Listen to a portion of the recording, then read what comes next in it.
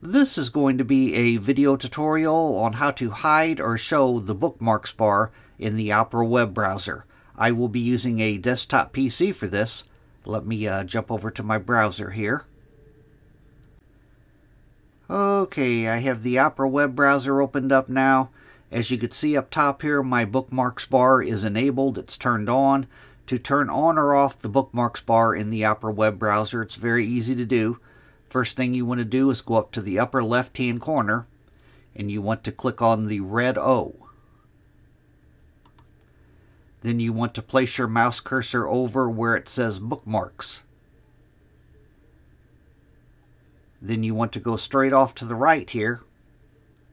And as you can see right here, show bookmarks bar, there's a check, bar, uh, check mark right next to it. Mine is enabled. If I click on it again, now my bookmarks bar has been hidden. I'm going to go back up to the red O. I'm going to click on it again. I'm going to place my mouse cursor over where it says bookmarks. I'm going to go straight off to the right here and I'm going to click on show bookmarks bar again to turn it back on.